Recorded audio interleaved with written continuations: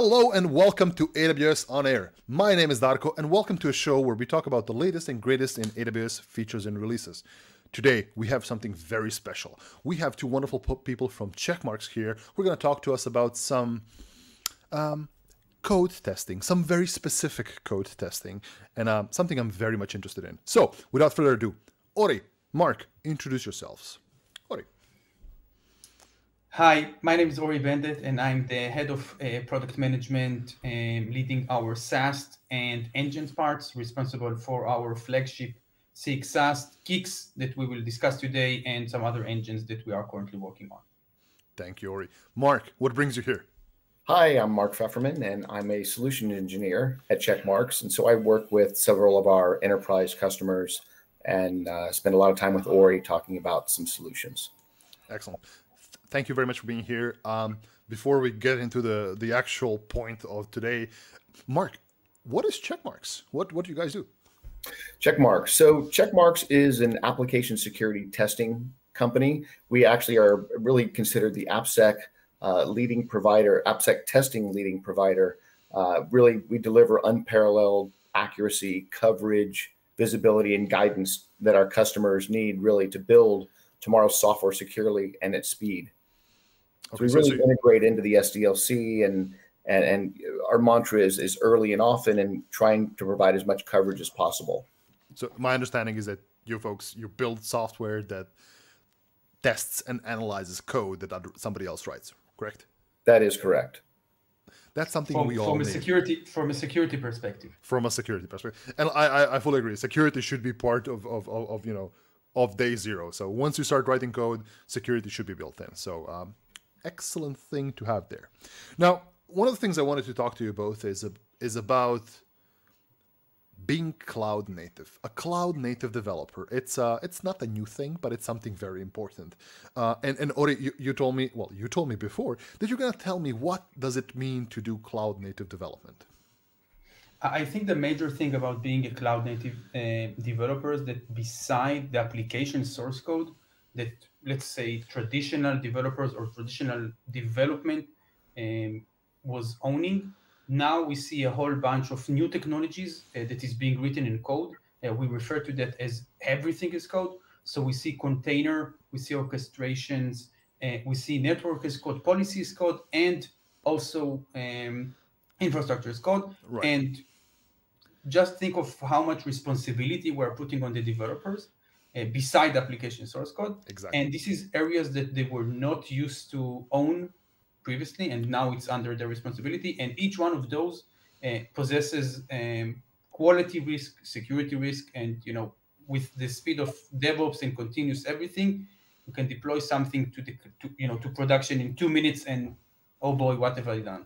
Correct, correct. I mean, in the past, like when I used to be a system administrator, we used to deploy infrastructure and then the developers used to deploy applications on top of that infrastructure. Now, in the modern cloud native world, developers deploy that infrastructure. So, how, how do developers actually do that? How, how, what, how do they deploy infrastructure along with their application? So, uh, with infrastructure as code, um, what they can do is simply write like the recipe. This is how I like to explain it. Okay. Um, I, the, it says I need this database, I need this WAF, I need this um, uh, machine, and I need to have those ports open. And magically, you know, infrastructure as code simply deploys it on exactly. the cloud vendor um, that they want. And really, within minutes, uh, you can have uh, your whole infrastructure scaled to the point where you can now have your application running on top of that. Exactly. I, I, like I I am a fan of that. That you can instead of going there and clicking your mouse a thousand times, uh, you can just deploy your infrastructure through the, describing it in a, as you say, a recipe. So your Terraforms, your Pulumis, your CloudFormations, your CDKs, that is infrastructure as code, and it helps you deploy things at scale. Now, when I talk about things at scale, besides it being good at scale, it can also be risky. So can you tell us a bit more about problems and risks when it comes to infrastructure as code? You know, with great power come, comes great responsibility, as we like to say. and, exactly. Uh, so just I, I, will give one simple example. You know, port 22 uh, SSH that is usually being used for remote debugging. Um, in a research that was done, it was one of um, the most common ports to be left open. Uh, and what we know is that by having port 22 open, uh, there are there are bots that simply scan open IPs, go through all the known ports, and then once they found an open 20, port 22, they simply brute force and gain access of your um, infrastructure, and you know from there, God knows what they can do. And exactly. this is just one simple example. And you can do this mistake in three minutes, and by five minutes after deployment, your infrastructure is gone. So exactly. You, a simple simple change in this recipe in this template you're building can make a change across your entire infrastructure and open it to potential attack. So so it, it's a problem, right? It can be fixed relatively fast, but not as fast as somebody can uh, break through it.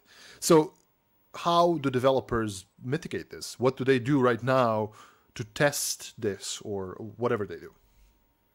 So the, the, the nice thing about infrastructure as code that you can treat it just like any other code. It means that you know you can um, review it, you can test it, you can have version control, yeah. and you can also make sure that you have automated tests running on top of that as part of your lifecycle. So it's now not only about functional test or static analysis or open source analysis, it's now also infrastructure as code analysis, making sure that your infrastructure is configured uh, the right way.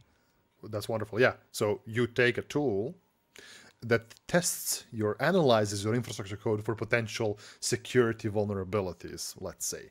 And um, I think this tool is something you folks at Check, Checkmarx have. So maybe maybe Ori or Mark can talk about this thing you mentioned to me before. So, in, in sorry, Mark, you want to take it?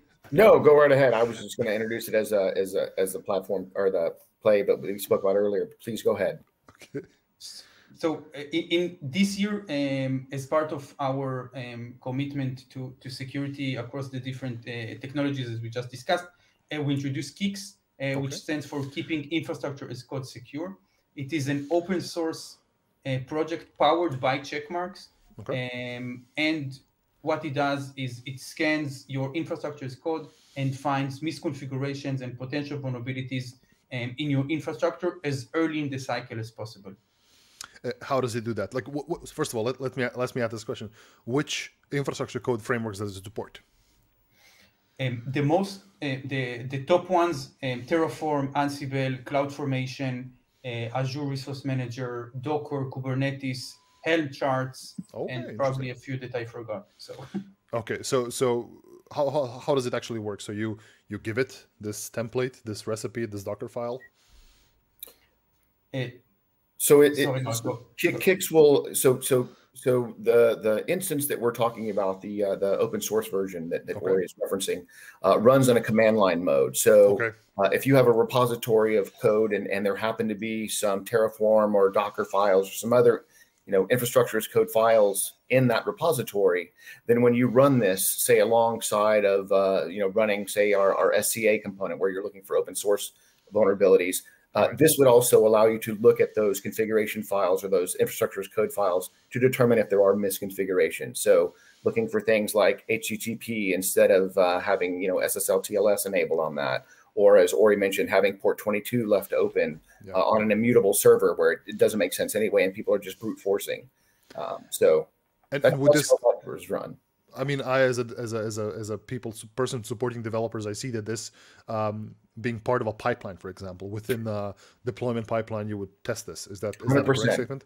Absolutely, uh, absolutely. So it, it would run uh, just as you described, right? So it can be uh, you could have it part of a YAML file, right? So it could be part of a, a part of a Git repo uh, YAML file, and uh, or or even better, it could be uh, you know part of a you know. So I, I, recently was doing some work where I've got some stuff in CodeCommit, and and then have that run in CodePipeline and uh, part of that pipeline uh, as part of CodeBuild running in the pipe CodePipeline it it breaks the pipeline. So uh, there, there are ways of configuring it to run that way. Excellent. So KICS is a tool that helps you determine if your infrastructure code is secure. That That's a, that's and, and when I say infrastructure code, I mean your CloudFormations, your terraforms, your Azure resource managers, your Docker files, your Helm charts, all of those things which help define your infrastructure. And it does this by detecting potential insecure patterns, let's call them, right? Um, it can work on your local machine, I guess. You can point it to a repository, and it should also be in a pipeline.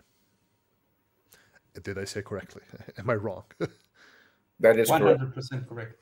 Excellent, excellent. Well, um, Ori, Mark, before we leave, is there anywhere you can point our uh, our audience to? Absolutely. So everything that you need is at kics.io. This is the main website. And you can see uh, all the documentation, uh, obviously the repository, all the queries. This is the policies that we run. Everything is open. and you can chat with us with us on Gitter. You know, you, you have all the channels to see what KICS does and how it can help you. Excellent. So go to kics.io, K I C S.io, and check all of right. these things out. Ori, Mark, thank you very much. Thank you for being on AWS On Air. Thanks for having us. Thank you very much. Bye.